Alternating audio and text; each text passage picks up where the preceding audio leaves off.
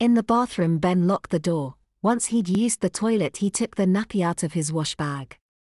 He unfolded it and pulled down his boxers. He lowered himself down to the floor and slid the nappy underneath his bottom. He pulled the front between his legs and realized he'd put the nappy on backwards, with the tapes at the front. He turned the nappy around, this time with the tapes at the back, and fastened the nappy into place.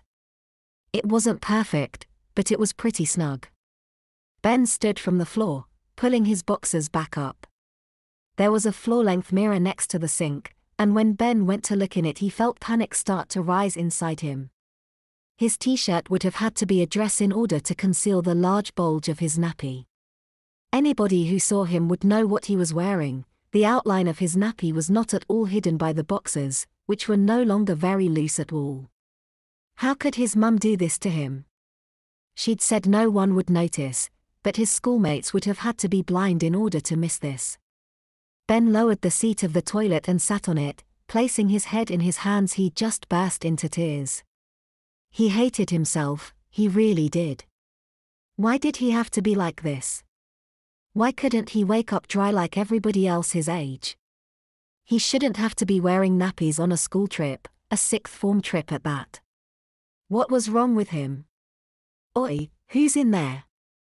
Hurry up. A knocking on the door interrupted Ben's sobbing. There's a queue out here, quit hogging the bathroom. Ben began to feel even more nervous. A queue. He was going to have to walk past people like this. His only alternative was to take the nappy off, but he knew that wasn't really an option. If he slept without the nappy on, he would soak the bed.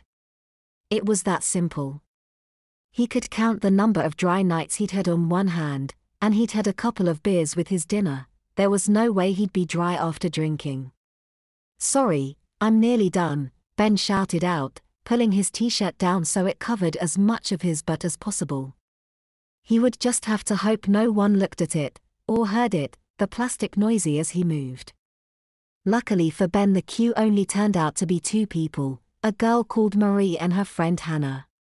Neither paid much attention to him, both going into the bathroom together as soon as he vacated it.